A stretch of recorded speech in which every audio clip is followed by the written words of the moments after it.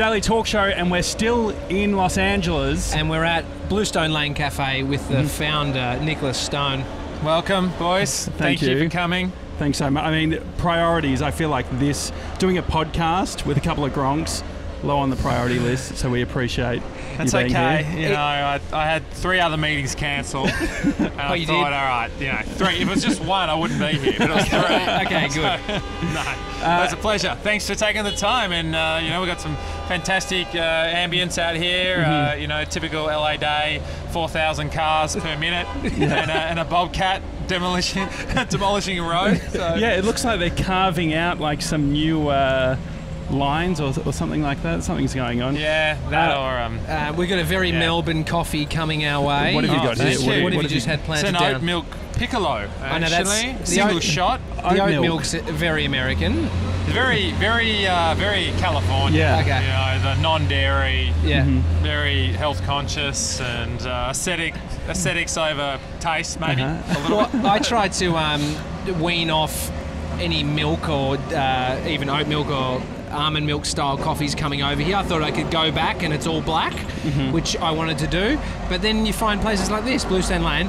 th- It's it's the quality of Melbourne coffee Yeah. in the states. And so this establishment, we're in California. You started out in NYC. Yes. Uh, I think Josh I kept spent the business a lot, afloat well, with I his spent girlfriend. a lot of time. So I think it was like 2013 or 2014. My girlfriend had this list of places that we had to go, and by the end of it, we I reckon we we went to more Australian cafes, or like the amount of time we spent at Bluestone Lane. It felt like I was in Mel- Melbourne the whole the whole time. Is that a common thing? How many Aussies do you reckon come through the door versus Americans?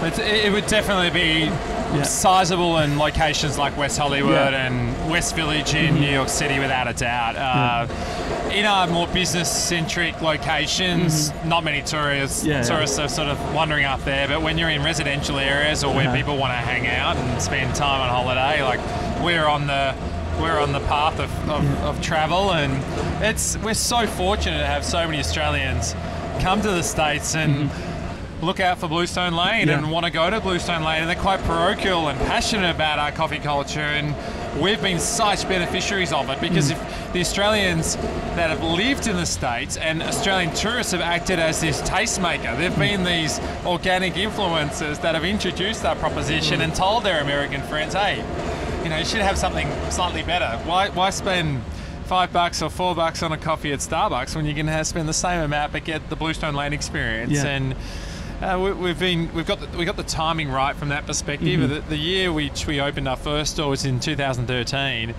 The dollar was particularly strong, and I think five percent of all Australians visited the US that year. Yeah. Over one million Australians visited the US.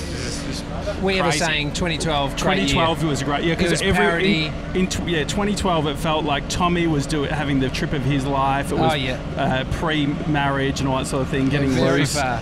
Uh, very far from that. But um, why why the US? Why did you uh, decide to set up shop here?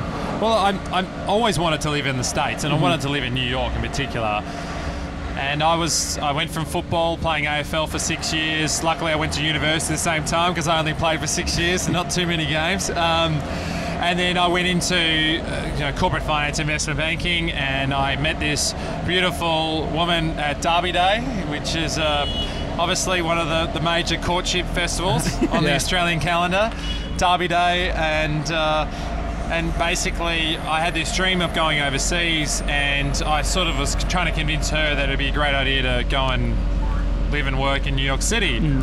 And she went along with the idea, and she was studying at university as well, but thought, you know, it'd be, it'd be quite good. She was actually modelling like on the side and as a part-time job, but, but she was very focused on her degree, which was she's studying osteopathic medicine, so she's she's got a bigger brain than me. But Yeah, um, yeah. and then, long story short, I tried to get transferred, and uh, I wasn't able to, to, to get land a job because of the financial crisis. But at that point in time, I'd already completed a, uh postgraduate degree in Master of Finance, and I was trying to work out ways in which I could get to the States. And one of them was about you know studying over here and doing an MBA or doing an exchange. And I was lucky enough to get an opportunity to study in New York City, and Welcome. full experience. Welcome to Thank you. Thank you. It's a lovely Thursday afternoon. And, uh, you know, that acted as the catalyst also to provide a job opportunity. And so I I ended up moving in 2010, started studying uh, in September 2010. And when I got here, I just couldn't believe how different the coffee culture was. Yeah. And I also just didn't have an appreciation of how successful Starbucks is. And I think, like, everyone, particularly Australians, like quite a myopic, you know, insular view. The Starbucks is, you know, the Antichrist and terrible and, you know, inferior. But the business model itself and the brand they've built is absolutely extraordinary in such a small point of time, uh, period of time, building a $120 billion US Yeah. brand, uh, $23 billion of revenue a year in 40 years, Yeah. and introducing espresso coffee to the States. And I just thought there's got to be an opportunity to, to, be, to be more authentically Australian, to have a better quality product, better quality service, better quality aesthetic, and really make people feel like they're going to their local establishment. And that that was basically the catalyst, the hmm. business opportunity, the market opportunity. I was a, I would be a core customer, and but I'd never worked a day in hospitality. So that's what's the most un- unique thing I think about Bluestone is like the founder and CEO of probably the largest hospitality Australian export now. Um, never worked a day in You'd be hospitality. horrendous at undercover boss. You'd just be dropping the coffees. Did you? so bad. Well, no, you know, I mean, how do you how do you turn on the coffee machine? Is it a? Um, do you think it's an advantage because you you don't have you're not jaded as someone who uh, has experienced the annoyance of maybe you know dealing with customers or being on that front line to come in and go, oh, look, I see an opportunity. Yeah, I do. I, you're completely unbridled, unencumbered from any preconceived notion of like you got to do it this way and the steps of service and this is how you treat someone and you, you can't price it that way. It's it. I think you can you can trial things. Thanks, Brandon. Lunch arrived. Um, I think you can uh, try things without fear and I think you probably apply this lesson to so many things in life. And I guess, you know, everyone, a lot of people get caught up in this notion of like they're, you know, they're an entrepreneur and, you know, they're doing a, they're creating a startup. Like really, Bluestone's a small, a, a fast-growing small business, and mm-hmm. that's the underbelly of all economies globally. And I think with, with me, I just looked at a way in which I could sort of keep iterating and learn, and and with a real discrete focus on building a brand and and me being uh, uh, and then my wife in particular being core customers and like what would we want if we walked in and you know, we had fantastic examples being connoisseurs living in Melbourne that we felt like we could replicate that here. And so when you moved uh, to the US, what was your previous experience? How long had you spent in the US prior to actually moving here? So I moved September 2010, uh, studied until the end of the year, and then started uh, at ANZ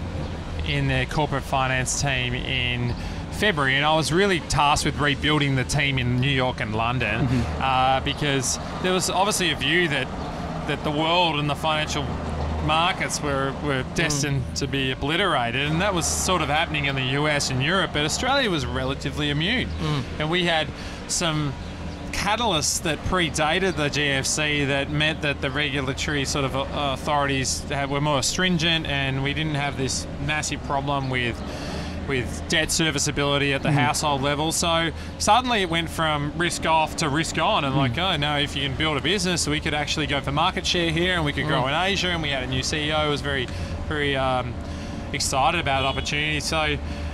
I worked, so I started then, and I didn't do anything for a couple of years, even though I'd worked on the business case at, at business school in New York. But then it was till July 2013 we opened our first store in Midtown Manhattan, very close to where our office was, which was on uh, between 47 and 48th on, on on Park, and then went from one store to two stores, and went to three stores and four stores, and they all kept working. And I didn't really have any harbour any ambitions of ever going full time. Yeah. And then I went full time finally in mid 2016 at 12 stores. Three years later, we're you know nearly 50 stores. So What is it? What does an investment banker actually do? I guess we have this. Uh, Tommy Invests in imagined. banks. yeah, I mean, what, yeah. What is an actual day to day? I can assume that it's like uh, you click a few buttons. Are and you then down you Wall do, Street? Are you, are you like near the bull? Cocaine for lunch, and then you come back. Like, what is the what is the reality of? that was definitely the, the Yeah. heydays of the 80s. You know, I- I- we, we missed that period. I- we, we got the austerity measures Yeah. and like bankers are overpaid. And, Uh-huh. oh, listen, I think if you're interested in companies, mm-hmm. it's an amazing job because your basic role is to understand how a company creates value and how it grows and what the capital it needs to be able to make investments. And mm-hmm. your role is to mm. sort of support that, whether providing them capital or advising on how they spend it. And you know, it's fascinating that you get to work with so many different people and, and brands and companies. And I love that. I was so mm-hmm. intrigued about like how does you know if you look, let's just take it. Let's take Amazon, like Amazon's story. Absolutely remarkable. You know, to lose money for 10 years in a row and then suddenly 10 years later be the biggest company in the world. Like, those sort of examples fascinated me. And um, I love the competitive nature of it too. I think that, like, going after market share and how do you compete against your competitors and your value proposition. And I was always intrigued by it. And uh, that's how I sort of fell into my love of business and banking. So you have a portfolio or something? Is it no, like we, okay? I had I was I had basically in the states I had customers that I'd work on and provide ideas on how Mm-hmm. Yeah. they could create more value. So it was pretty broad. It was Mm-hmm. anything from how to enter the Asia Pacific market, how to reduce their cost of capital or like how much interest they're paying on all their capital Mm-hmm. could be how to optimize their capital structure or you know like how to fund their suppliers or how to fund their So you're working Yeah. with like CFOs or yeah something? Yeah, treasurers CFOs yeah, that's that's And so they also, so if it's ANZ, does that mean that it's Australian businesses wanting to enter into North America or? It was primarily American businesses mm-hmm. that wanted to grow in Asia Pacific, Okay. and Australia, oh, well, ANZ was really making a hard push, mm-hmm. concerted push in Asia mm. Pac. Now that's changed a bit with the. The, the Royal Commission and, and honestly like the, the banks make more money in Australia than mm-hmm. any other region in the world. Like the return on equity is so high um, because the defaults are so low. Because of that know the full accountability on your home loan and recourse like people Yeah. don't really walk away from homes and cars like they do here, you mm-hmm. know. Um, so the defaults are so much lower, and it's just a lot more concentrated down there. So yeah, it was primarily US corporates mm-hmm. growing in the Asia Pac region, but yes, certainly there were some Australian mm. brands that were trying to land in the US, but they're just typically so much smaller. Like the mm. big Aussies, that had, uh, you know the biggest like let's just say the top 100 ASX like mm-hmm. very few uh, have meaningful market share in the US like mm-hmm. some obviously are in resources but that's not really a US story. Mm-hmm. The banks they're not really in the US um, yeah you know we're still a very Australian domestic focused and Asia Pacific focused sort of economy. I, I look around. There's so much construction going on, and we were in New York last year, and I think I look around. So much is happening, and I think, how how do you even start something over there, especially as someone who isn't from America? Where do you start? How much capital do you need to uh, create a cafe in New York City? It's it's certainly not cheap, uh, you, and New York is is just the, the epicenter of the world. It's truly the world's city. Eight million people a day, and it's the biggest influence on commerce, arts, fashion. Uh, it's it's incredibly incredibly inspiring and electric place. But the, the risk you've got is rent is so expensive there that you get the wrong real estate, you, you're cooked. You Yeah, you could be over in a matter of couple of months. what would And- like a corner like what? i- how much would a lease cost? And, it- and is it the Oh. same structure as in Australia or? No, so the handy thing in New York is because defaults are so high that the actual recourse structure is a lot lower than Uh-huh. Australia. So if you sign a lease in Australia, you could be on the hook for 10 years. Mm-hmm. In New York, you could be on the hook for six months or 12 Yeah, months. sure. So that's more favourable. But your probability of failing is so much higher, I think. Yeah. Um, so it's a risk reward play, and as, as it relates to um, lease leasing costs, uh, to get a great corner in Midtown, it Mm-hmm. could cost you around four hundred dollars a square foot, which is like four thousand dollars a square meter. Mm-hmm. Okay. Is that And- per month? So, Or- yeah, so what, And what's that, breakdown? So that's, yearly that's annually. so- So, let's just say we have a site that is a thousand square feet, Mm-hmm. which is hundred square meters, and it's costing us four hundred dollars a square foot. Mm-hmm. You're gonna have- have to help us with the 400 maths. You're the bank that- guy. That's four hundred thousand dollars Yeah. a year, Yeah, which is which is about like thirty-seven So thousand then how the fuck month. do you do it with coffee? How, how does how do you sell coffee it's- and then make and like Yeah. how does it actually work? Yeah, this is the bit I sort of got wrong on a few occasions. Like, yeah, we'll do it. We can make it. And then I back solve it out. Like, you know, coffee, four dollars flat white, multiplied by how many people? Oh, yeah. Oh, wow, I need to sell like 4,000 copies a day. Okay, 4,000 copies divided by 10 hours. Holy smokes, that's 400 copies an hour. like, how, like, okay, how long does a coffee make? Or three minutes? Uh oh, I can do 20 in an hour. Oh, like, how do I get to? Four, I can need 10 espresso machines. And like, So what do you do? So where is the money in so cafes? yeah, it's a it's a very very very delicate um, balance Mm-hmm. between managing your, your lease costs and and driving enough productivity through your staff. It's certainly not easy. You got Mm-hmm. to get the right rent deal. It takes a long time to get those deals. The landlord's got to trust your brand. Got to trust your value proposition and who you are. And uh, you know, for us, obviously food was a larger part of it, but like mm. with more food means more people. So it's it's not easy, but you need. You, in our case, we won't sign a deal where the landlord doesn't really want us over anyone else. They have Yeah. to feel so fired up and motivated that we're going to be an amenity to to their building where they're happy to take a bit of a hit or subsidise the retail rent because they're getting their core rent roll or, or core revenue from the office tenants above or the mixed use campus. Like that's how we've we've been able to do it. And a lot of the big guys, the incumbents like Starbucks, they've been in there through grandfathered leases, which which really, you know, they probably signed ten years ago. That Is um, that cheaper rent? yeah, certainly because period? rent goes up. Like rent's basically indexed. It goes up three percent a year typically. So over ten years, you're Yeah. talking thirty percent increase, Mm. right? And some, and when they reset rates, rents they often reset them higher, to, Mm-hmm. you know, and so you could be paying 30, 40 percent higher than what they were ten years ago. Now, Mm. that's going from.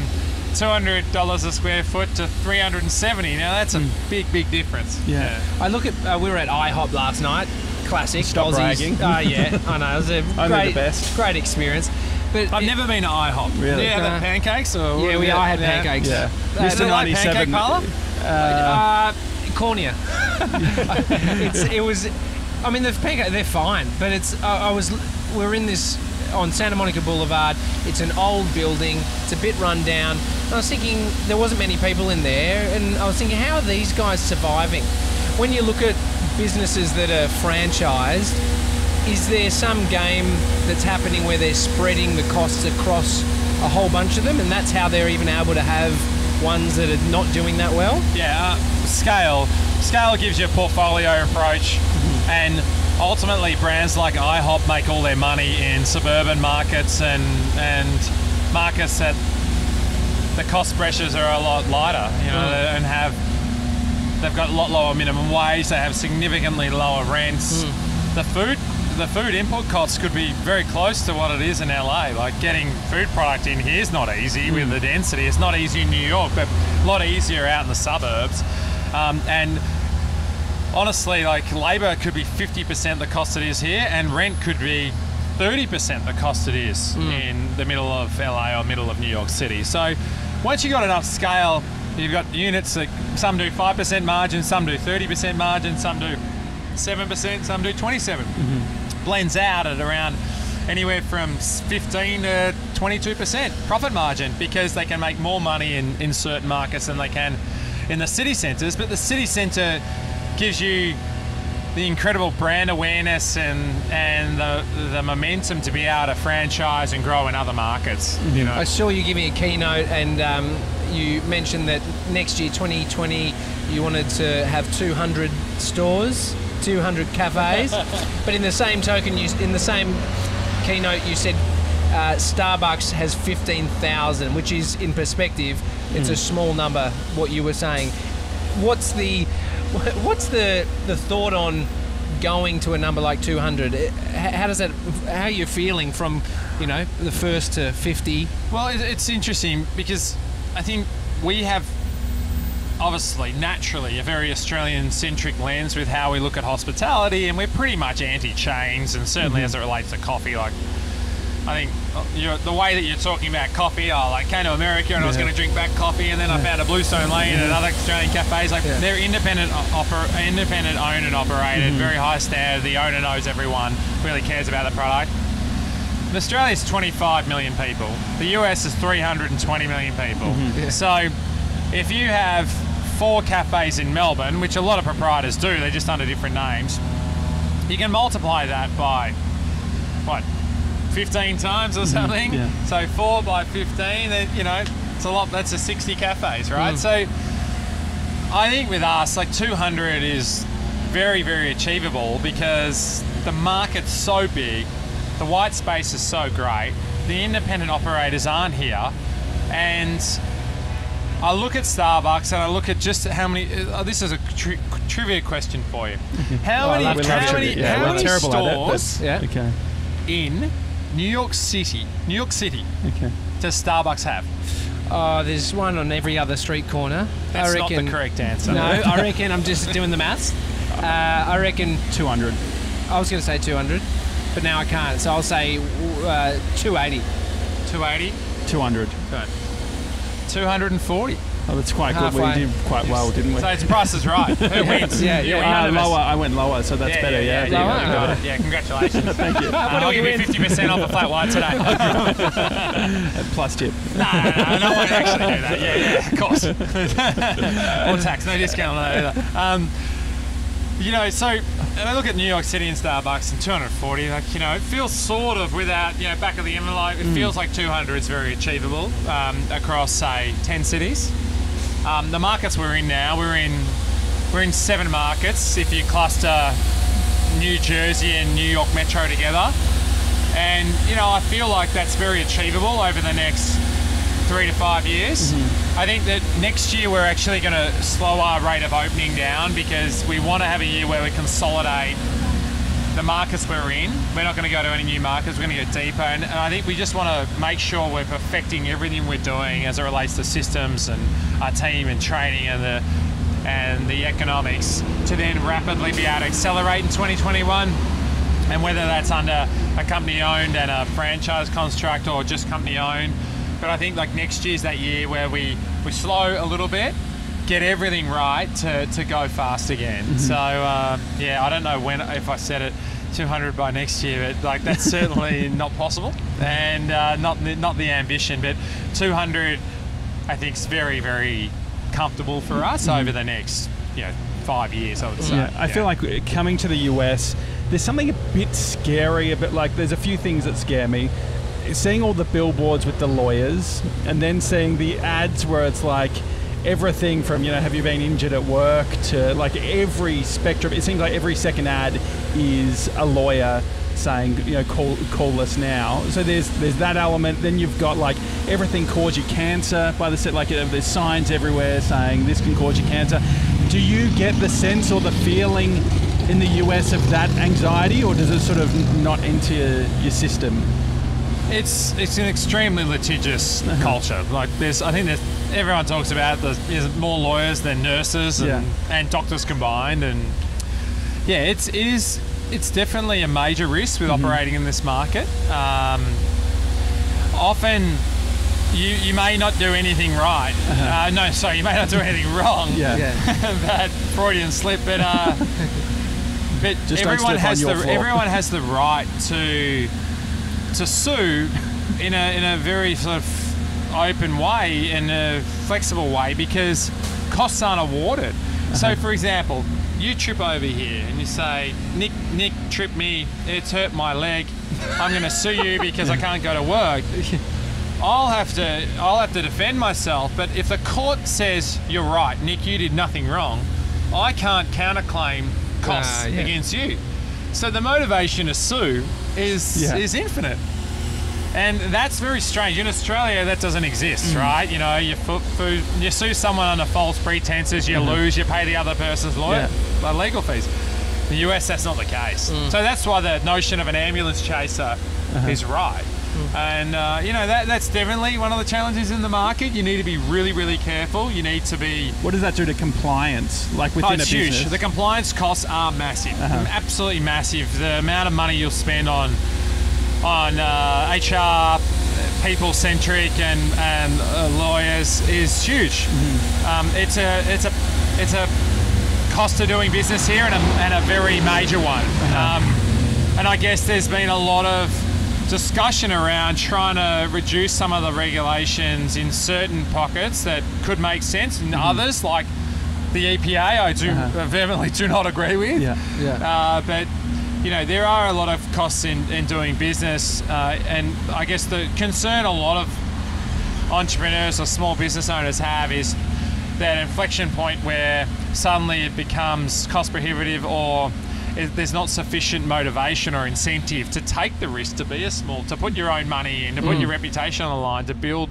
build business and grow uh, when you know that, that that there's such great there's such incredible downside and there's not enough upside. Um, you know like when you start something you leave a big company like you are taking an incredible amount of risk on hmm. yourself on your on your personal life financially. It's it's way bigger than I ever thought. That was a, hmm. that, that was probably the biggest lesson I got from banking. You, know, you you think that you're really you know important and you're working with these big companies and it's great you're giving it great ideas but it's so intangible Yeah. versus okay like go out there and hire 10 people and everyone's going to get paid every week and it's dependent on how much money you've got or how much the business makes. And like mm. those simple operatorship lessons i think are so valuable. And in fact more bankers and more finance professionals and more leaders should actually get exposure to real tangible mm. small economies. It'll make them a better a better um, business person without a doubt. And i feel that that's been one of the biggest gifts from bluestone not only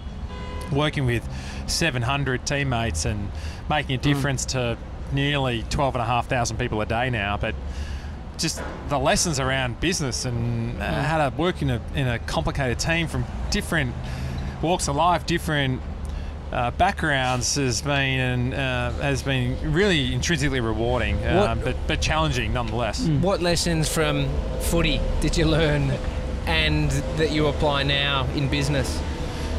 Well, team sports in Australia are incredible because they're quite democratised, and everyone needs to be pretty cross-functional, right? Every, you know, you play AFL footy, everyone needs to know how to kick, mm-hmm. handball, tackle, mark, play cricket. You know, it's everyone sort of knows how to bat. The US sports are pretty segmented. Like Yeah. in baseball, you could just pitch but never bat. You could catch and never be in the outfield. You can be in the outfield and never pitch. The US, you know, look, football offense never on the same side of the field as the defense. Yeah. Never on the field at one time. You may never touch the ball in your entire career. You can make a hundred million dollars and never have actually touched the pigskin. You're describing my uh, footy, junior footy career. I wouldn't mind that. 100 mil, not to touch the ball. Yeah, so um, you know, I think that's incredible how it's such an important part of our upbringing and culture. Yeah. You, you learn how to deal with people who have different skill levels and different motivations and different athleticism.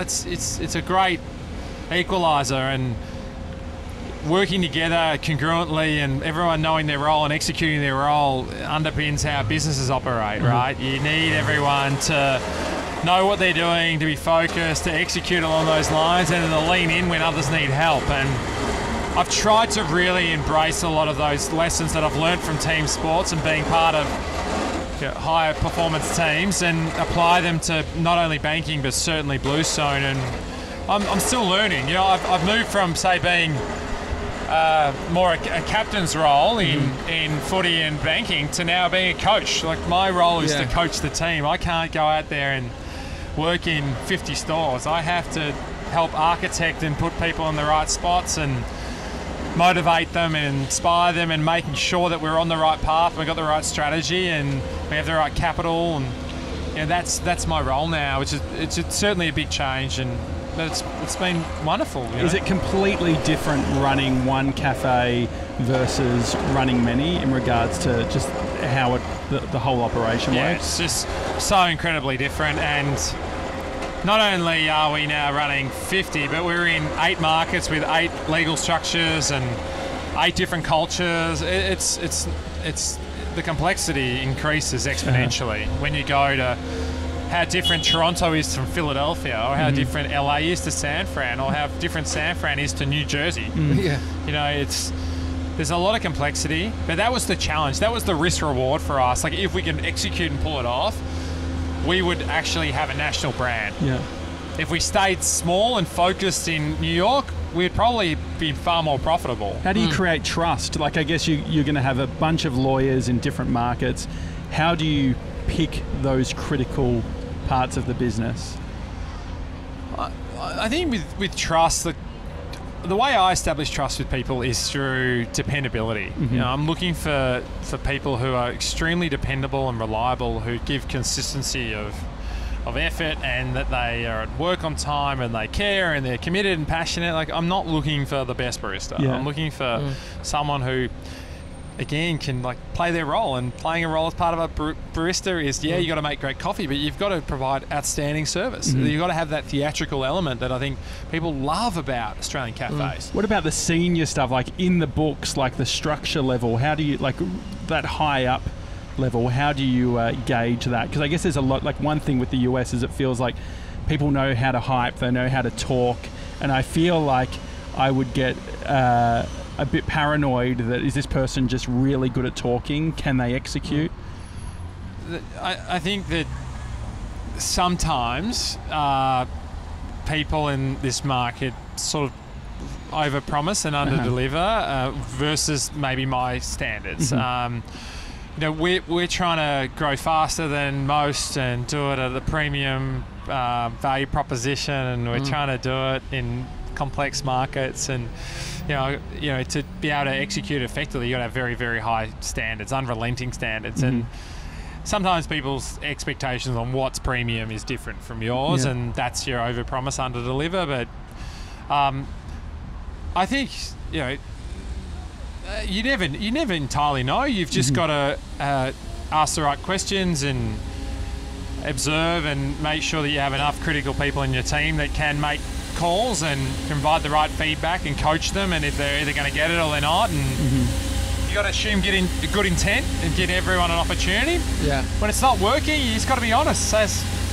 it's not going to work, and uh, I think you're a great person. Happy to go for a beer with you. Happy to have a coffee, but maybe you're not perfect fit for Bluestone Lane. And going to try and do it with as much dignity as possible, but that's like life. It's you know like you may have lots of people that want to work on sit in this seat and Yeah. get on a podcast, but you know they're not perfect fit for it. Yeah. That's okay. Like I think you know in hospitality, culture is far more important than any technical component. In mm-hmm. other industries, technical skills are more important than, than mm. maybe your cultural fit. But hospitality is about making other people feel happy and satisfied and excited, and you got to change the way way they feel. So if you're if you're not dedicated to to that pursuit, I don't know if, if it, the industry's cut out for you, and probably not Bluestone Lane's cut out for you. How, as a business owner, do you set up a, a solid framework to create a great culture?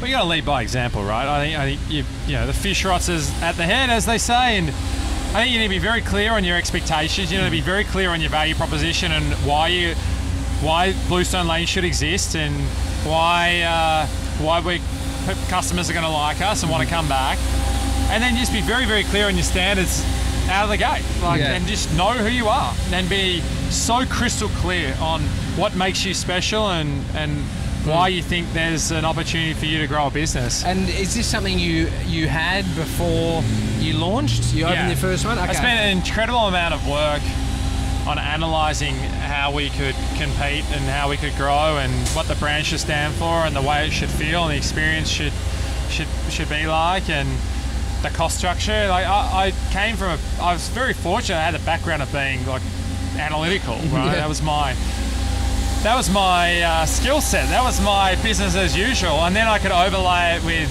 a real deep interest in how to build brands. And rather than a collection of stores, how do I build an actual brand that stands for something? And in our case, we wanted to be this extension of Australian lifestyle. Yeah. We wanted to encourage people to go out and get a coffee and socialise, not just get a coffee to go to drink at your guests. We wanted you to come down with a colleague and chat and and get that broader sort of daily escape. And uh, I think that a lesson I, I you know I always convey to entrepreneurs is don't jump into this unless you can answer all the questions. And hmm. you don't have to have like just general questions like you know can you make a profit? Can you generate revenue? Can you make a profit? Can you employ people? Are they actually going to go to work?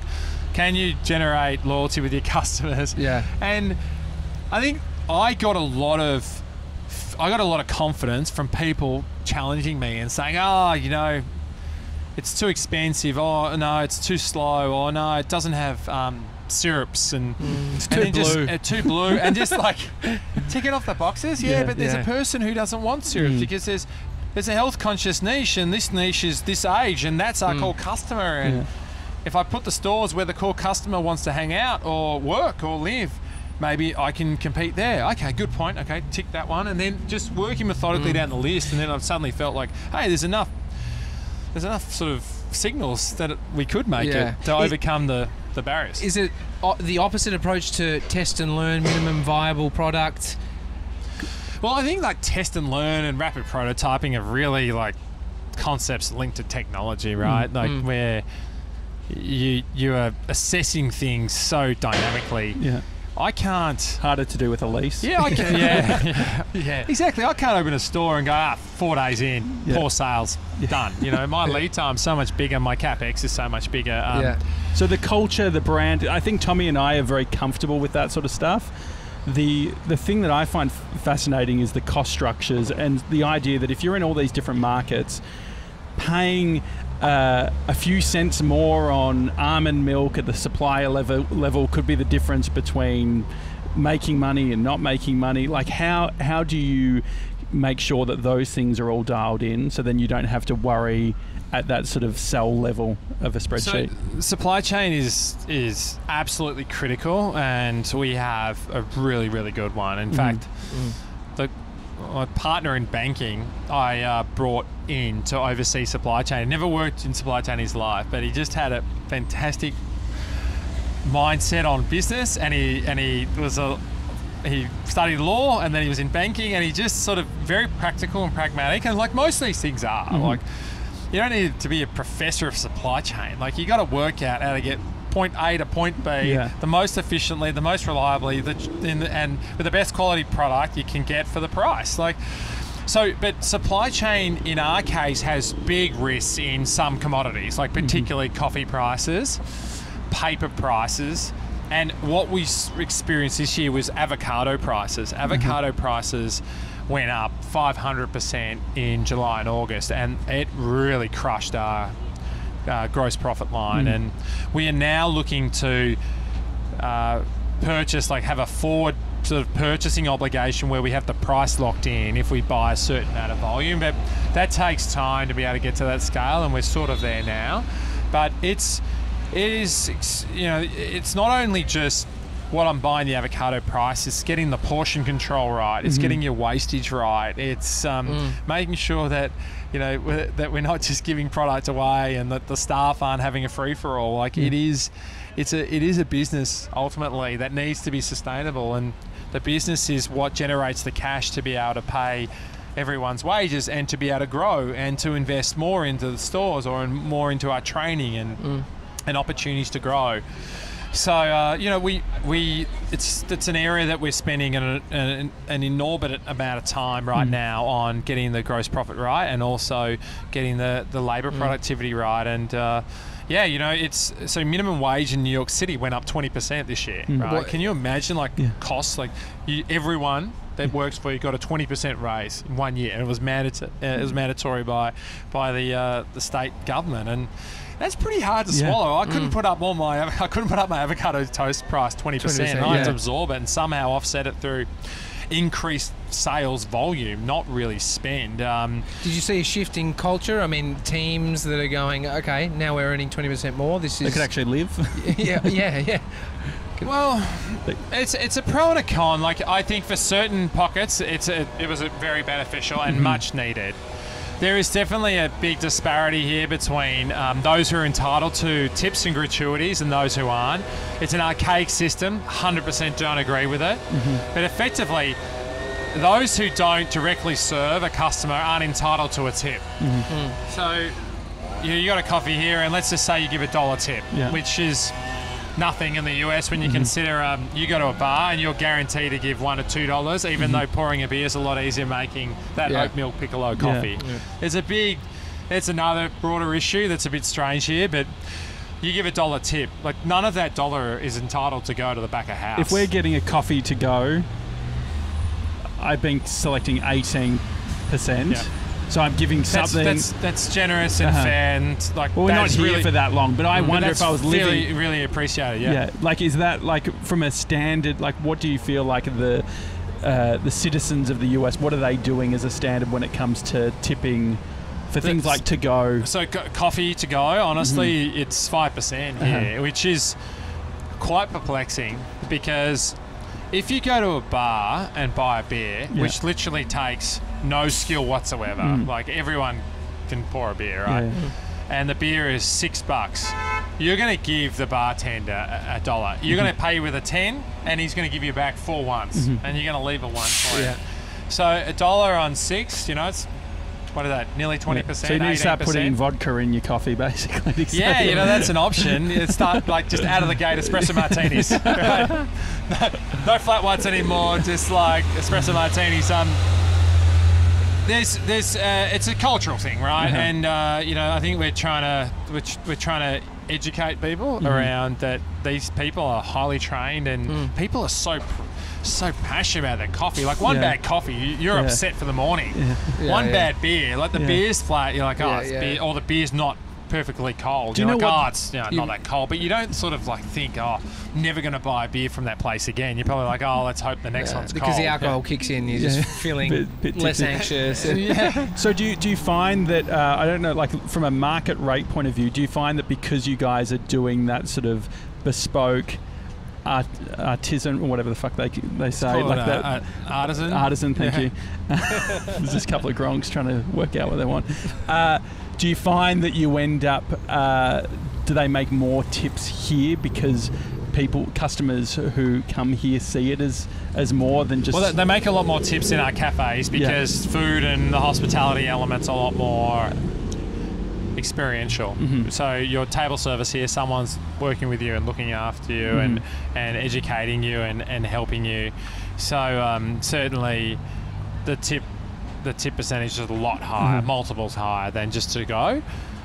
But that's that's that's legacy. Mhm. That's not us. That's what that's the US system. Mm. Uh-huh. Uh, uh, you know, eventually there'll be a, there'll be a change, I think, but but we're in a we're in a tough, I would say, transition right now where minimum wage has gone up so much, but tips are still the same. So if anything, it's almost like accelerating the uh, uh, to some case maybe be accelerating the the divergence in wage between back of house and front of house, which definitely wasn't the intention with increasing minimum wage in I think- certain cities and I think- states. I think there's a lot of Aussies that come over here and they might think things are backwards or just totally different to back home. I saw you folding up a check before. I didn't see how much it was for, but I saw you folding up a check and I was like, you guys still use checks? And then I remember driving from the airport. There's a, you know, cash your checks here. Is there thing a few things in business in America that you just think we got to get rid of that, or you just sort of grit your teeth and go, we got no choice? It's amazing. I'm happy to admit this, but I was I was a banker for 11 years, and like when I moved to the states, or prior to moving to the states, I say seven, six years, I didn't know how to write a check. I had to Google like pay to, and you know, do I do I put lines on it and write Yeah, things, yeah, yeah. and you know, non-negotiable or void or whatever. And, there's some things like that that just don't make sense. So Yeah. you've got the biggest tech companies in the world, all based here, and you've got you know incredible fintech investment, but like people are getting paid via check, and like Mhm. we, I think we have 650, 650 staff, right? I would say of the 650, 200 still getting checks weekly. Is, Uh, is that their choice crazy. or? Yeah, Yeah. it's their choice. We want to pay everyone a direct debit. We don't want to cut checks and sign them. We, a member of our team does check signing Oh, for like three hours on, on a Thursday. and uh, Like, and that person does not want to do it, but there's no option. You know, like that stuff's crazy. crazy. Yeah, yeah. But, um, I- why would don't an, why. why? would a staff member want want a check? I, mm, I've, I've guess I'm if not you've really always sure. done it that way. Yeah, Yeah, I, I guess, guess it's I, like- ru- rich, ritual routine. You know, People who still pay their power bill at the post office. There's something kind nostalgic of, that about kind it. of vibe. Uh, bef- before you go, uh, if someone's thinking about starting a business in the US, what's one question that they should ask themselves? one question is is tough. Uh-huh. ultimately, I think if you want to make it in the US, you've got to go all in. hmm I see a lot of people think about opening in the US. I don't think the notion of thinking does not make it here. Yeah.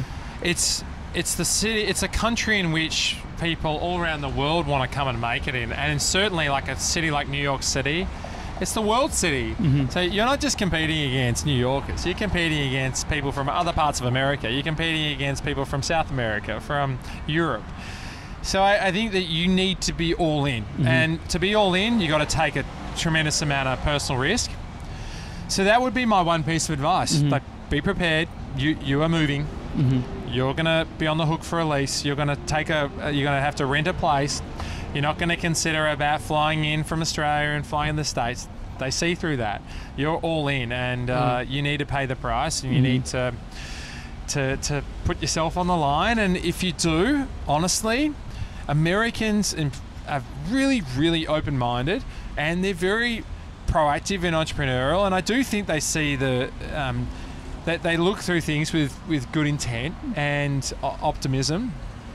And that resonates really, really well with Australians who've got that attitude of giving it a go and are not too fussy and happy to be scrappy and lean in and do whatever it takes and be social and be open minded.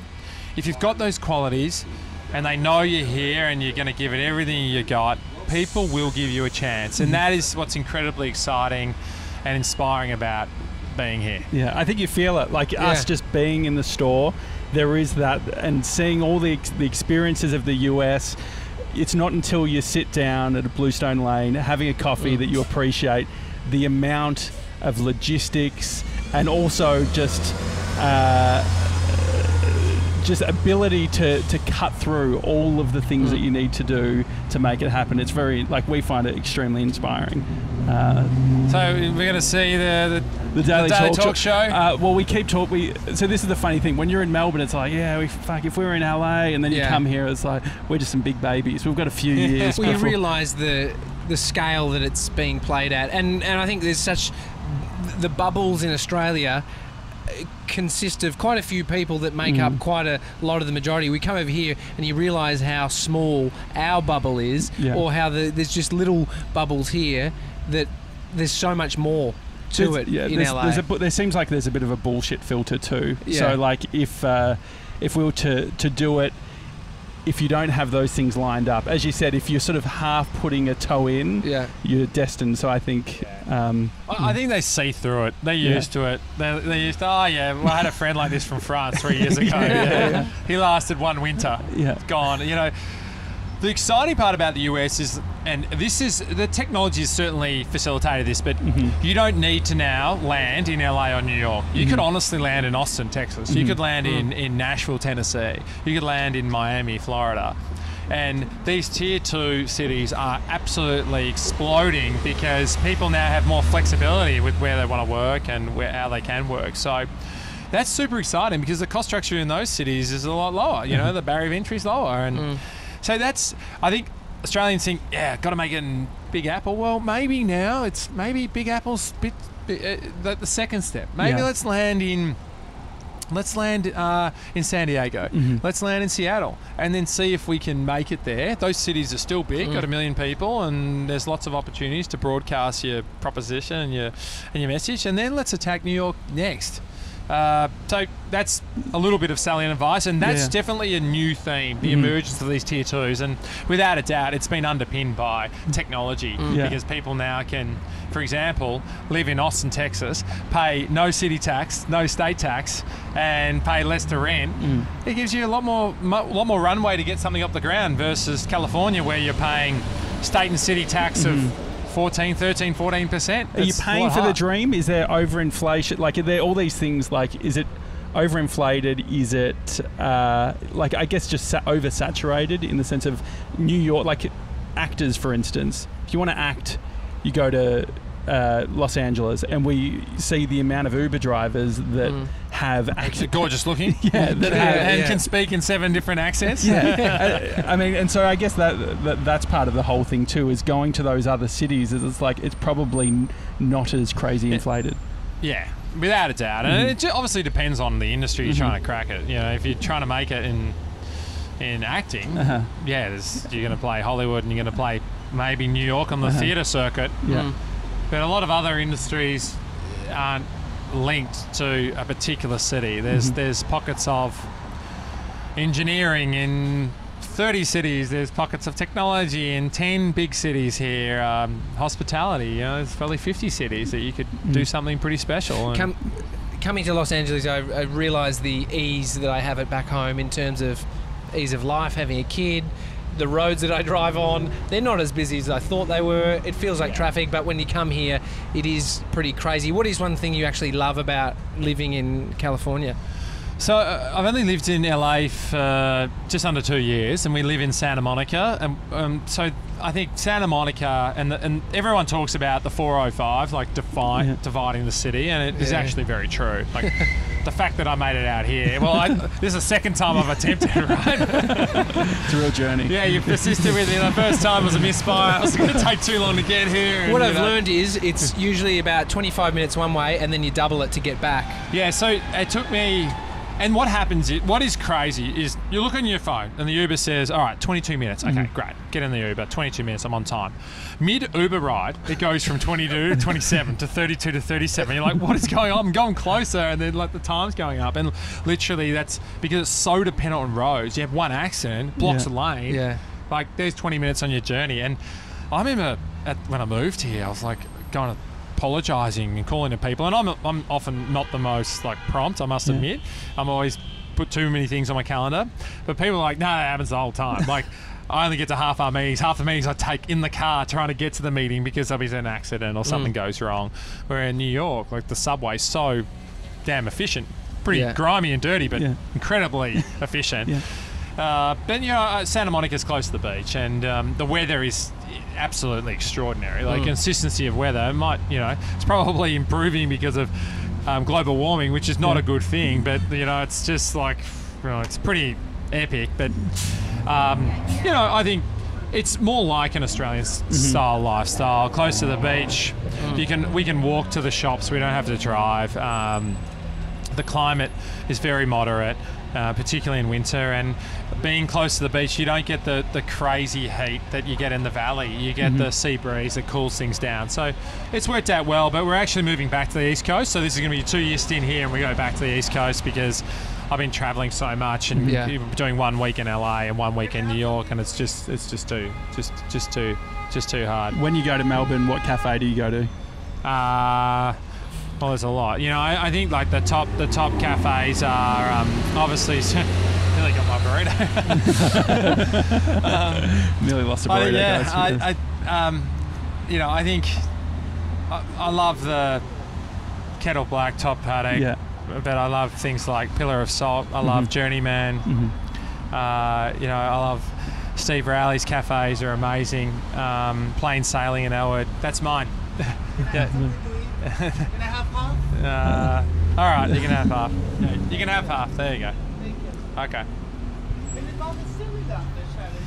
Um, so lost half my burrito, but I'll go. Um, you know, I think it's there's so many. You know, every every time I go there, but you know, I used to go to Patricia in the city. Um, absolutely love that, and I, you know, I used to. I, and when I go home, we often stay at my parents-in-law place, and they're around the corner from a cafe called uh, Little Locks, and close to Plain Sailing. That's but, great. Yeah, Yeah. I, I love the consistency of cafes is so high in Melbourne. I think it's more the social ritual I love. The Mm. fact of just going, um, going to catch up with, going with my wife and reading the papers back to front, having two coffees, avocado toast with with the, with halloumi and uh, mushrooms, roasted tomato. Like it's just magical. Yeah. It's such a great way to disconnect and just relax a Mm. little bit. And then during the week, you know, Monday through Friday, I'd go twice a day. Uh, morning catch up as a team, and then uh, yeah, all good. And then um,